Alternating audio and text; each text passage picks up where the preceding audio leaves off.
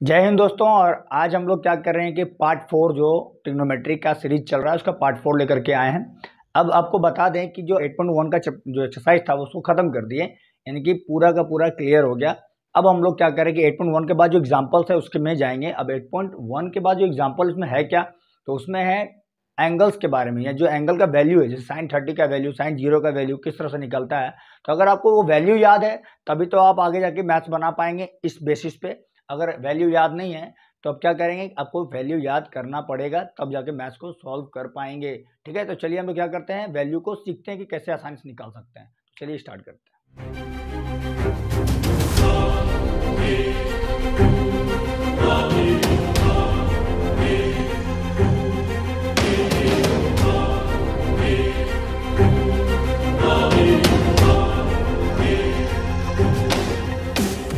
आइए हम लोग क्या करते हैं कि हम लोग देखते हैं थीटा जो है, जो भी sine theta thirty degree, forty five degree, sixty degree ninety degree का वैल्यू कितना आसानी से निकाल सकते हैं। और आप इसको नोट भी करिएगा और समझिएगा भी कि कैसे आसानी से निकाल सकते हैं। देखिए, याद करने से अच्छा कि आप उसको समझ लीजिए। अगर आप समझ गए तो आप कोई भी वैल्यू आसानी से निकाल पाएँगे और समझ भी जाएँगे। अगर कोई आपसे पूछ दे कि कॉस फोर्टी का वैल्यू कितना होता है तो आपको यहाँ पे चार्ट देखना पड़ता है, यानी कि जो टेबल बनाया हुआ वो देखना पड़ता है, तब जाके आप आंसर देते हैं। ऐसे आपको अगर याद हो जाए कि निकला कैसे है तो आप आसान से, आसानी से इसको बना भी पाएँगे। चलिए देख लेते हैं हम लोग। सबसे पहले बात करेंगे इधर रेशियो दिया हुआ है sine cos tan cot sec cosec छः ट्रिग्नोमेट्रिक रेशियो होता है, ये आपको पता है, पहले ही बता चुके हैं हम आपको। और इधर जो है ये zero thirty forty five sixty और नाइन्टी अब डिग्री जो होता है नाइन्टी डिग्री नाइन्टी जो डिग्री है, वहाँ तक नहीं होता है उसके आगे भी होता है। लेकिन अभी हम लोग क्लास टेन के बेसिस पे पढ़ तो हम लोग नाइन्टी डिग्री तक देखते हैं। चलिए आगे देखते हैं इसको निकाला कैसे जाता है। तो सबसे पहले क्या करेंगे हम लोग, इसका वैल्यू निकालने के लिए साइन का ज़ीरो लिखेंगे। वन टू थ्री और फोर ध्यान समझिएगा साइन का निकल गया, यानी सबका वैल्यू निकल गया। आप आसानी से देखिएगा, समझ में आ जाएगा। फोर आया, सबको क्या करेंगे फोर से डिवाइड कर देंगे, ठीक है? डिवाइड कर देने के बाद सबको क्या करेंगे रूट अंडर करेंगे। बिल्कुल कर दिए, है ना? ये आपको समझ में आ रहा होगा। अब क्या करेंगे कि इसका वैल्यू क्या हो जाएगा? ज़ीरो बाई फोर क्या होता है? तो आपको पता है ज़ीरो बाई फोर क्या हो जाता है? ज़ीरो यानी कि साइन ज़ीरो डिग्री का वैल्यू क्या निकल गया हमारा? ज़ीरो ठीक है? अब साइन थर्टी का वैल्यू देखते हैं। तो यहाँ पे क्या होगा कि रूट वन का वैल्यू वन होता है और फोर का वैल्यू क्या होता है? टू रूट अंडर फोर का वैल्यू क्या हो जाएगा? टू हो जाएगा। यानी कि साइन थर्टी डिग्री का वैल्यू क्या हो गया? वन बाई टू अब देखिए यहाँ से आप काटेंगे। इसको काट दिए और इसको काट दिए कितने बार में? दो बार में। तो इसका क्या हो जाएगा? साइन फोर्टी फाइव का value root under one by क्या हो जाएगा? टू तो रूट वन का वैल्यू वन ये हो गया। और रूट टू का वैल्यू रूट टू ही रह जाएगा यहाँ पे। उसका वैल्यू पॉइंट वाला डिसमल वाला नहीं लिखना है हम लोग को। ठीक है? यानी कि साइन फोर्टी फाइव का वैल्यू कितना हो गया? आपका वन बाई रूट टू अब साइन सिक्सटी डिग्री का वैल्यू क्या हो जाएगा? तो साइन सिक्सटी का वैल्यू हो जाएगा। रूट थ्री को रूट थ्री लिख दिए और रूट फोर का वैल्यू अभी बताएँ कि टू होता है। ठीक है? अब आसानी से देखेंगे। लास्ट वाला भी क्या हो जाएगा? ये कट गया, बच गया वन, और रूट वन का वैल्यू क्या होता है? वन होता है। तो आप देख लिए कि कितना आसानी से हम लोग निकाल लिए ना इसका वैल्यू कि साइन ज़ीरो का वैल्यू साइन थर्टी का वैल्यू फोर्टी फाइव का वैल्यू सिक्सटी का वैल्यू और नाइन्टी का वैल्यू अब इसका वैल्यू निकल गया तो इसका मतलब क्या? कि जब साइन का वैल्यू निकल गया तो हम सारा वैल्यू आराम से निकाल लेंगे, ठीक है? तो चलिए हम लोग चेक करते क्या, सारा वैल्यू अब कैसे निकालते हैं। देखिए साइन का जो वैल्यू है, वो हम लोग यहाँ पे पूरा वैल्यू मिल गया नाइन्टी तक। अब क्या करेंगे? कॉस तो कॉस क्या होता है? साइन का उल्टा हो जाता है। तो लास्ट वाला को पहले लिख देंगे और पहले वाला को लास्ट में लिख देंगे। देख लीजिए कैसे? वन यानी कि साइन ज़ीरो का वैल्यू क्या हो जाएगा? वो वाला। वन हो गया, ठीक है? सॉरी कॉस ज़ीरो का वैल्यू क्या हो जाएगा? कॉस थीटा लिख रहे हैं ना तो कॉस ज़ीरो का वैल्यू क्या होगा? वन क्योंकि हम लोग पीछे से पलट देंगे आगे की ओर तो उसका क्या हो जाएगा? रूट थ्री बाई टू फिर यहाँ पे वन बाई रूट टू ये वाला हो जाएगा वन बाई टू इसका हो जाएगा ज़ीरो अब समझ नहीं रहे होंगे कि कैसे लिख दिया उठा के अचानक। मतलब कि साइन जो है कॉस जो है साइन का अपोजिट हो जाता है, उल्टा हो जाता है। तो पीछे वाला वैल्यू आगे आ गया। ठीक है, देख लीजिए आप। नाइन्टी का वैल्यू क्या हो गया? कॉस नाइन्टी का वैल्यू देखिए ध्यान से ज़ीरो अब ये ज़ीरो क्या था? साइन ज़ीरो का वैल्यू था। आप कंफ्यूज मत होइएगा। आप आराम से देखिए कि हम लोग क्या कर रहे हैं कि जो साइन का वैल्यू निकला, उसको हम पीछे से पलट के आगे से लिख दिए। तो क्या हो गया? कॉस का वैल्यू हो गया। ठीक है, आप देख रहे होंगे।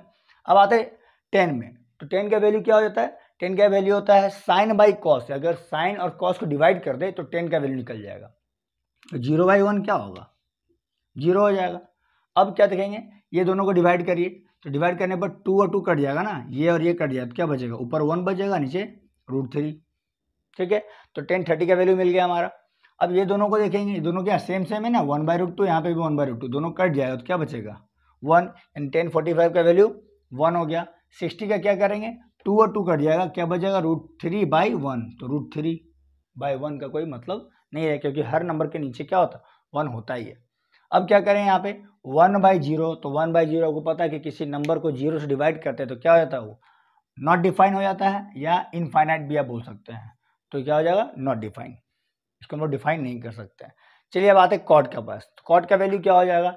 तो क्या हो जाता है, जिस तरह से साइन जो था कॉस का वैल्यू निकालने के लिए मतलब कि उत्तरदायी था, यानी कि इसका पलट के लाए तो कॉस आ गया तो टेन को भी क्या करेंगे, पलट देंगे तो कॉट हो जाएगा, ठीक है?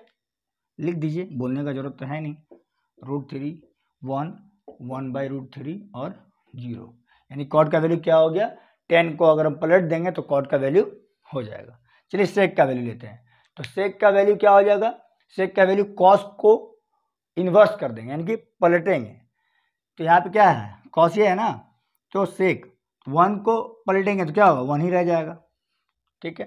फिर यहाँ पे इसको पलटेंगे तो टू ऊपर और रूट थ्री नीचे। हो गया? यहाँ पे भी पलट देंगे। तो सिर्फ़ क्या हो जाएगा? रूट टू बाई वन यानी रूट टू यहाँ पे भी पलट देंगे तो यहाँ क्या हो जाएगा?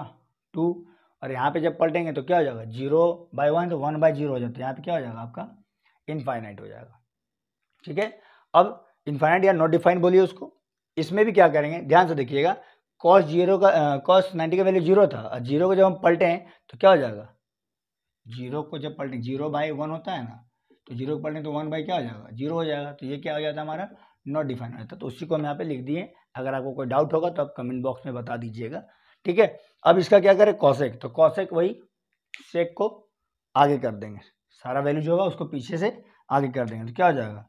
ये इनफाइनाइट यहाँ पे टू यहाँ पे रूट टू फिर ये वाला, यहाँ टू बाई रूट थ्री और वन का वैल्यू यहाँ जो होगा वन यहाँ आ जाएगा। ठीक है? तो इस तरह से आप क्या समझ गए? इस तरह से आप कोई भी थीटा का जो sine cos tan cot sec cosec था, जिसका भी एंगल दिया हो तो उसका वैल्यू आप आसानी से निकाल सकते हैं, एक वैल्यू निकालने के बाद। ये कैसे निकालना था, मैंने आपको अच्छे से बताया। अगर नहीं समझ में आया तो आप कमेंट बॉक्स में बताइए। और चलिए अब हम लोग एग्जाम्पल्स की तरफ़ चल के क्वेश्चन को सॉल्व करें अब आइए एग्ज़ाम्पल नंबर हम लोग सिक्स देखते हैं, क्योंकि एग्ज़ाम्पल नंबर फाइव तक हम लोगों ने पहले ही देख लिया है। अब एग्ज़ाम्पल नंबर सिक्स देखेंगे। एक बात और बता दें कि अभी जितना भी हम सीरीज़ लाए हैं, वो सारा इंग्लिश में है। अगर हिंदी मीडियम का जो सीरीज़ अब आएगा तो हम आपको पहले ही नोटिफिकेशन दे देंगे कि हिंदी मीडियम के लिए भी एक सीरीज़ चला देंगे टिग्नोमेट्री का, ताकि हिंदी मीडियम के बच्चे भी अच्छे से पढ़ सकें। ऐसा नहीं कि आपको इसी में समझ लेना है। ऐसे आपको इसमें आसानी समझ में आएगा, क्योंकि हम हिंदी में ही बोलते हैं। पूरा इंग्लिश का यूज़ नहीं करते ताकि आपको हिंदी मीडियम और इंग्लिश मीडियम वाले बच्चों को समझ में आ सके। बट कुछ कुछ वर्ड आपको प्रॉब्लम करता होगा तो इसके लिए हम एक नया सीरीज़ फिर से लेकर के आएँगे, जो कि हिंदी में सिर्फ़ टोटल हिंदी में ही रहेगा। चलिए सॉल्व करते हैं हम एग्ज़ाम्पल नंबर सिक्स को, ठीक है? आसान है। आप देखिए, एक ट्रैंगल दिया है जिसमें बी नाइन्टी डिग्री पे है ना? Triangle A B C right angle at B यानी कि बी पे नाइन्टी डिग्री है एंगल ए सी भी दिया हुआ है आपका थर्टी डिग्री ठीक है? अब पूछ रहा है ए सी और बी सी क्या होगा? ये पूछ रहा है। ठीक है तो चलिए हम लोग क्या करते हैं? ये दिया हुआ हमारा ए बी ठीक है तो ए बी कितना दिया हुआ हमारा? ए बी है फाइव सेंटीमीटर ठीक है? और ए सी भी हम लोग को क्या दिया हुआ है? आपका थर्टी डिग्री तो हम लोग क्या करेंगे? इसको हम लोग पी बोलते हैं परपेंडिकुलर इसको क्या बोलते हैं? बी बोलते हैं। तो हम लोग क्या करेंगे? पी और बी किसमें होता है? तो टेन थीटा बराबर क्या होता है? पी बाई बी होता है। तो टेन थीटा कितना है? थीटा तो है थर्टी डिग्री और पी कितना है? तो पी है ए बी है ना? और बी कितना है? बी सी तो आप क्या करेंगे? टेन थर्टी का वैल्यू क्या होता है? तो अभी हम बता चुके हैं आपको, उसमें से टेबल हमसे आप देखेंगे तो पता चल जाएगा टेन थर्टी का वैल्यू होता है वन बाई रूट थ्री। और यहाँ पे क्या करेंगे? ए बी कितना है? तो ए बी है आपका फाइव सेंटीमीटर, और बी सी हमको नहीं पता। तो बी सी क्या हो जाएगा? क्रॉस मल्टीप्लाई कीजिए तो बी सी इक्वल टू क्या निकल गया आपका? Five root three metre. यानी कि आपका ये बी सी का वैल्यू मिल गया। अब क्या पूछा गया हम लोगों से? ए सी का। तो ए सी क्या हो जाएगा? या तो आप पैथागोरस से निकाल दीजिए, या तो फिर आप वैसे ही करिए। साइन थीटा बराबर क्या हो जाएगा? पी बाई एच होता है। तो साइन थीटा यानी कि साइन थर्टी डिग्री है ना? पी कितना? तो पी है आपका ए बी और एच कितना? यह है आपका ए सी तो साइन थर्टी का वैल्यू क्या होता है? अभी टेबल में आप देख लेंगे, क्योंकि आप नोट कर लिए होंगे, समझदार हैं आप। वन बाई टू हो जाता है इसका वैल्यू ए बी क्या हो गया? ए बी का वैल्यू जो है, वो दे दिया है फाइव और ए सी हमको निकालने के लिए बोला गया। तो ए सी भी क्रॉस मल्टीप्लाई कीजिए तो ए सी क्या आ जाएगा? फाइव टू जा टेन सेंटीमीटर यानी कि ए सी भी निकल गया और आपका बी सी भी निकल गया। तो उम्मीद है कि एग्ज़ाम्पल नंबर सिक्स सिक्स जो है, आपको अच्छे समझ में आया होगा। और अगर नहीं समझ में आया तो फिर वही बात कमेंट बॉक्स में बताइए। तब तक के लिए आगे बढ़ते हैं, अभी ख़त्म नहीं हुआ। अब आइए हम लोग एग्ज़ाम्पल नंबर सेवन को बनाते हैं। देखिए एग्ज़ाम्पल नंबर सेवन पूरा हलवा है। मतलब खाने वाला हलवा नहीं है, बहुत इजी है। आप समझिए, बहुत ही आसानी से समझ में आ जाएगा। ये जो ट्रायंगल दिया है पी क्यू आर क्वेश्चन में ये बोल दिया कि क्यू जो है वो 90 डिग्री है है ना? राइट एंगल राइट क्यू तो क्यू पे क्या हो जाएगा? 90 डिग्री है। अब पूछ रहा है एंगल पी आर क्यू यानी कि पी आर क्यू ये वाला। और पूछा है angle Q P R Q P R ये एंगल कितना होगा, ठीक है? तो बहुत ही आसान है समझने के लिए। सबसे पहली बात आप देख लें कि ये क्या है? हाइपोटेनस है पी आर ये क्या है? परपेंडिकुलर है, ये क्या है? बेस है, ठीक है? जनरली तो हम लोग यही जानते हैं। तो क्या कर देंगे हम लोग? सबसे पहले दिया क्या है? ये पी और ये क्या दिया हुआ? एच तो पी और एच किसमें होता है? पी एच साइन थीटा में होता है और कॉसेक में होता है। तो चलिए साइन थीटा को ले लें। साइन थीटा थोड़ा पारिवारिक व्यक्ति लगता है। तो साइन थीटा बराबर क्या हो जाएगा? पी बाई एच तो sine theta equal to P by H कितना? तो पी बाई एच जरा देख ले हम लोग। पी किसको बोल रहे हैं हम लोग? पी क्यू को और एच किसको बोल रहे हैं हम लोग? पी आर को, ठीक है? इस तरह से आप देख लें तो क्या हो जाएगा? Sine theta equal to P Q कितना है? तो पी क्यू हो जाएगा आपका थ्री और पी आर कितना है? सिक्स है। इसको अगर काट दे तो क्या हो जाएगा? One by two. यानी कि sine theta equal to one by two निकल गया। अब आपको पहले से पता है कि साइन में किसका वैल्यू वन बाई टू होता है। तो चलिए चेक कर ले। Sine theta equal to one by two किसका होता है? तो साइन थर्टी का होता है। तो साइन थर्टी डिग्री का हो जाता है। तो दोनों का अगर इक्वल हो गया तो थीटा कितना हो जाएगा? थीटा हो गया आपका थर्टी डिग्री कौन सा हो गया भाई? तो एंगल एंगल ये निकल गया ना? तो एंगल हो गया क्यू आर पी कितना?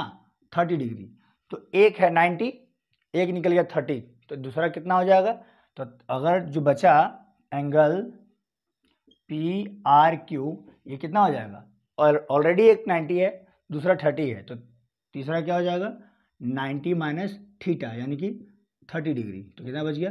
सिक्सटी डिग्री तो angle P R Q equal to क्या हो गया? सिक्सटी ये कट गया, ध्यान में, ध्यान से देखिए सिक्सटी डिग्री है ना?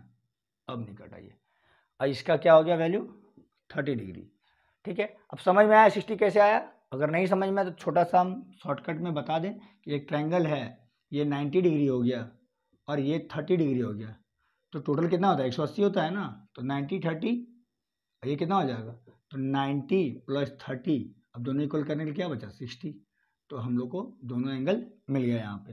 वैसे आप समझ सकते हैं, उतना भी टफ नहीं था ये क्वेश्चन तो चलिए हम लोग क्वेश्चन आगे देखते हैं कि इजी है या टफ है। चलिए भाई एग्ज़ाम्पल नंबर हम लोग एट को देखते हैं। एग्ज़ाम्पल नंबर एट भी देखने में थोड़ा अजीब लग रहा होगा, लेकिन वो अजीब है नहीं। कहे कि मैथ तो सबको अजीब लगता है। देखिए, ध्यान से यहाँ पे काफ़ी इजी है। आप समझेंगे तो आपको केयर करेंगे तो आपको समझ में आ जाएगा। देखिए साइन ए माइनस बी दे दिया है आपको, कितना? वन बाई टू ठीक है तो साइन ए माइनस बी को आप रहने दें, ठीक है? और वन बाई टू किसका वैल्यू होता है साइन में? तो साइन में जो होता है, वो थर्टी डिग्री का होता है। इसका मतलब दोनों साइन इक्वल है, यानी कि ए माइनस बी बराबर क्या हो जाएगा? ये हो जाएगा थर्टी डिग्री ऐसे जनरली काट के भी बनाते हैं हम लोग, ऐसे। ठीक है तो ए माइनस बी का वैल्यू क्या हो गया? थर्टी डिग्री और इसका नाम दे दिए हम लोग वन ठीक है? उसी तरह से हम लोग इसका ले लें। Cos A plus B equal to कितना? वन बाई टू तो कॉस ए प्लस बी क्या हो जाएगा आपका? वन बाई टू कब होगा? तो कॉस सिक्सटी डिग्री का होता है? वन बाई टू ठीक है? अब टेबल याद होगा आपको तो समझ में आ जाएगा। वो डिग्री वाला टेबल वो टू वन या टू नहीं। ठीक है? तो यहाँ पे क्या हो जाएगा कि ये कॉस कॉस गया ए प्लस बी बराबर कितना हो गया आपका? सिक्सटी डिग्री हो गया। इसका नाम दे दिए टू अब क्या करेंगे कि टू माइनस वन करेंगे। इक्वेशन को टू और माइनस वन करेंगे। तो सॉल्व कर लेते हैं। A plus B equal to कितना? सिक्सटी और A minus B equal to कितना? थर्टी ठीक है? तो क्या करेंगे हम लोग? यहाँ पे ऐड करेंगे। ऐड करने पर साइन चेंज नहीं होता है और सब्ट्रैक्ट करने पर साइन चेंज होता है। तो यहाँ लिखेंगे ऑन एडिंग ठीक है? तो यहाँ पे सब्ट्रैक्ट ना होकर के ऐड हो जाएगा। तो ऐड कर रहे हैं तो प्लस माइनस क्या होगा? खत्म। ए प्लस ए कितना हो गया? टू ए यहाँ पे sixty plus thirty, ninety degree और ये दो से कितना बार में? फोर्टी फाइव टाइम में मतलब कर दिया। तो ए का कितना वैल्यू निकल गया? Forty five degree. ये निकल गया आपका ए अब हमको निकालना है क्या? बी तो बी निकालने के लिए किसी में भी वैल्यू रख दो ना। इसी में रख देते हैं हम लोग।